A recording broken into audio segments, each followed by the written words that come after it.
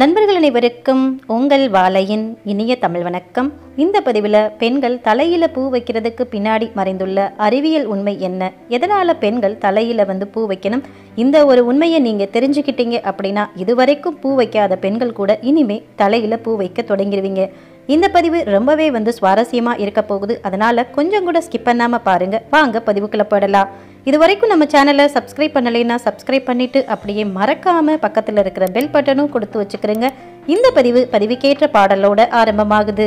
பெண்ணல்ல பெண்ணல்ல ஊதாப்பூ சிவந்த கன்னங்கள் ரோசாப்பூ. பூக்களை சூடிக்கொள்றதுனால தான் பெண்களை பூவையர் அப்படின்னு குறிப்பிடும் சொல் வழக்கு வந்து ஏற்பட்டது. தமிழக பெண்கள் பொதுவாகவே பூக்களை தலையில சூடுறது வழக்கம். இது நம்முடைய கலாச்சாரத்துல தொன்று தொட்டு வரும் ஒரு பழக்கம் அப்படின்னு கூட சொல்லலாம். நம்முடைய முன்னோர்களின் ஒவ்வொரு செயலுக்கு பின்பும் பல அறிவியல் உண்மைகள் ஒளிந்திருப்பது போல பெண்களை பூச்சூட சொன்னதற்கு பின்பும் பல அறிவியல் உண்மைகள் ஒளிந்திருக்கு. உலகம் முழுவதுமே பார்த்தீங்கன்னா முப்பத்தி எட்டாயிரம் கோடிக்கு மேலே பூ வகைகள் இருக்கு. ஆனால் அதில் ஆயிரம் கோடி பூக்கள் மட்டுமே இப்போதைக்கு நடைமுறையில் இருக்கு. அதிலும் ஐநூறு கோடி பூக்கள் மருத்துவத்துக்கு பயன்படுத்தப்படுது. பெரும்பாலான பூக்கள் வாசனை திரவியங்கள் தயாரிக்கிறதுக்கும் பயன்படுத்தப்படுது. பூக்களை வந்து தலையில சூடிக்கொள்வதால ஏற்படும் நன்மைகள் என்ன அப்படின்றத பத்தி பார்க்கலாம். பூக்கள்ல இருக்கிற மிக நுட்பமான ஆற்றல் மூளைச்சல்களால ஈர்க்கப்பட்டு நாளமுள்ள நாளமில்லா சுரப்பிகளோட சீரண இயக்கத்துக்கு உதவுது. இந்த ஆற்றல் மன அழுத்தத்தை குறைத்து மன அமைதிக்கும் உதவுது அப்படின்னு கண்டுபிடிக்கப்பட்டிருக்கு. தலையில பூ வைக்கிறது மனமாற்றத்துக்கு உதவுது. ஒரு விஷயத்தை பல கோணங்கள்ல பார்க்கும் தன்மையை அது வந்து கொடுக்கும். அதோடு மகிழ்ச்சியையும் உண்டாக்குது அப்படின்னு சொல்லப்படுது.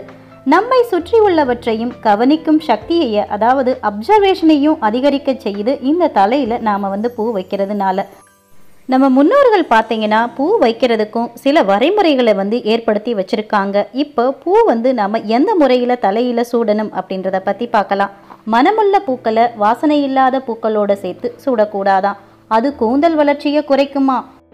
ஜாதி மல்லிகைப்பூ செவ்வந்திப்பூ குடசப்பாலைப்பூ பாதிரிப்பூ மகிழம்பூ செண்பகப்பூ சந்தனப்பூ ரோஜாப்பூ. இது எல்லாத்தையுமே வந்து பார்த்தீங்கன்னா கனகாம்பரத்தோடு சேர்த்து சூடினா மிகவும் நல்லது அப்படின்னு சொல்லப்படுது. மந்தாரை தாமரை செவ்வரளி கருங்குவளைப்பூ. இதை கற்பூரத்தோடு சேர்த்து சூடினா மனம் அமைதி பெறுமாம். மல்லிகை பூவை குளிக்கிறதுக்கு முன்னாடி சூடணும் முல்லைப்பூ வில்வப்பூவை குளித்ததுக்கு அப்புறம் வந்து சூட்டிக்கணும். உடல்ல எண்ணெய் தேய்த்து குளிக்கும் போது தாளம்பூவை சூடிக்கிட்டா ரொம்பவே நல்லது அப்படின்னு சொல்லப்படுது. நம்முடைய தலையில சூடிக்கொள்ளும் பூவானது தலையில மட்டும்தான் இருக்கணும். தோள்பட்டையிலும் முதுகு பகுதியிலும் படாம இருக்கிறது ரொம்பவும் நல்லது அப்படின்னு சொல்லப்படுது. குளிர்காலங்களில் உஷ்ணமான பூக்களையும் உஷ்ணமான காலத்தில் குளிர்ச்சியான பூக்களை சூடுவதும் நல்லதான் தலையில சூடும் பூக்கள்ல இருக்கிற பயன்கள் என்ன? அதாவது ஒவ்வொரு பூவுக்கும் ஒவ்வொரு விதமான பயன்கள் வந்துட்டு இருக்கு. இப்போ ஒவ்வொரு பூவுக்கும் இருக்கிற பயன்கள் என்ன அப்படின்றத பத்தி பார்க்கலாம். ரோஜா பூவை தலையில நாம வச்சுக்கிறதுனால தலை சுற்றுதல் கண்ணோய் இந்த மாதிரியான பிரச்சனைகளை அது வந்து தீர்க்குது. மல்லிகை பூவை நாம தலையில வச்சுக்கிறப்போ கண்களுக்கு குளிர்ச்சி தந்து மனதை அமைதியாகவும் வைக்குது. செண்பகப்பூ வாதத்தை வந்து குணப்படுத்தி பார்வை திறனை அதிகப்படுத்துது. பாதிரிப்பு காது கோளாறுகளை வந்து சரி செய்யுமா? அது மட்டுமல்லாமல் செரிமான சக்தியையும் அதிகப்படுத்துது பாதிரிப்பு.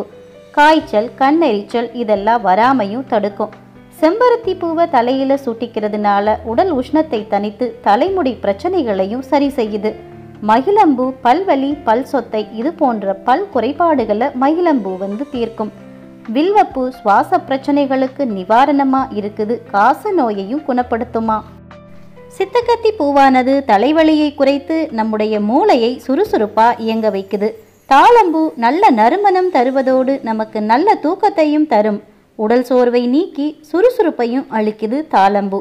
தாமரை பூவானது மன அழுத்தத்தை நீக்கி மன அமைதி தந்து நிம்மதியான தூக்கத்தையும் தருது. செண்பக பூவை பதினைந்து நாட்கள் வரைக்கும் நாம சூடிக்கலாம். கிராமப்புற பெண்கள் அதிகம் பயன்படுத்தும் கனகாமரப்பூ தலைவலியை வந்து சரி செய்து இதை ஒருவேளை மட்டும் சூடிக்கலாம். அனைத்து பெண்களும் விரும்பக்கூடிய பூ என்ன பூ அப்படின்னு பார்த்தீங்கன்னா மல்லிகை பூ தான் திருமணமான பெண்கள் மல்லிகையை அடிக்கடி சூடிக்கிறது மூலமா தாம்பத்திய உறவோட போது கணவன் மனைவி இருவருடைய ஹார்மோன் சுரப்பும் தூண்டப்படுறதுனால கரு உறுதல் எளிதா நடக்கும். மல்லிகை பூவை அரை நாள் மட்டுமே கூந்தல்ல சூடிக்கணும் அப்படின்னு சொல்லப்படுது.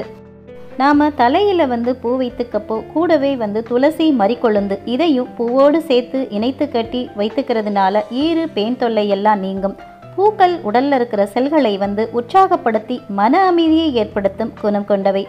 இன்றைய காலகட்டத்தில் இருக்கிற இன்றைய தலைமுறை இளம்பெண்கள் பூச்சூடுவதை பழக்கப்படுத்திக்கிட்டா உடல் நலத்துக்கு மிகவும் நல்லது. இதையெல்லாம் தாண்டி பெண்கள் என்றால் அழகு பூக்கள் என்றாலும் அழகு. அழகுக்கு அழகு சேர்க்கிறதுக்காக கூட இந்த பழக்கம் வந்திருக்கலாம். எது எப்படியோ தலையில பூ வைக்கிறது அப்படின்றது நம்ம உடல் நலத்துக்கு நன்மை பயக்கும் அப்படின்னா இன்றைய காலகட்டத்தில் இருக்கிற பெண்கள் பூக்கள் வைக்க ஆரம்பிக்கலாம்.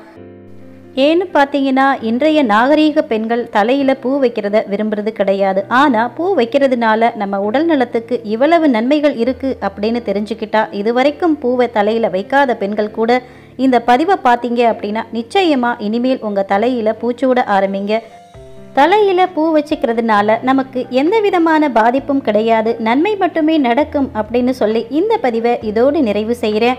தலையில் பூ வைக்க போகிறவங்க அதாவது இந்த பதிவை பார்த்துட்டு இனிமேல் முதன் முதலாக தலையில் பூ வச்சுக்க போகிறவங்க கண்டிப்பாக கமெண்ட் செக்ஷனில் வந்து உங்கள் கருத்துக்களை வந்து பதிவிடுங்க. இந்த பதிவு உங்களுக்கு மிகவும் பயனுள்ள பதிவாக இருந்திருக்கும் நினைக்கிறேன். இந்த பதிவு பிடிச்சிருந்தா லைக் பண்ணி உங்கள் நண்பர்கள் மற்றும் ஃபேமிலி மெம்பர்ஸ்க்கும் ஷேர் பண்ணுங்கள் ஃபர்ஸ்ட் டைம் நம்ம சேனல் பார்த்தீங்கன்னா நம்ம சேனல் சப்ஸ்கிரைப் பண்ணிவிட்டு அப்படியே மறக்காமல் பக்கத்தில் இருக்கிற பெல் பட்டனும் கொடுத்து வச்சுக்கிறேங்க இந்த பதிவை பற்றின கருத்துக்களையும் கண்டிப்பாக கமெண்ட் செக்ஷனில் சொல்லுங்கள் அடுத்த ஒரு நல்ல பதிவில் சந்திப்போம். அதுவரை உங்களிடமிருந்து விடைபெறுவது உங்கள் வாலை நன்றி வணக்கம்.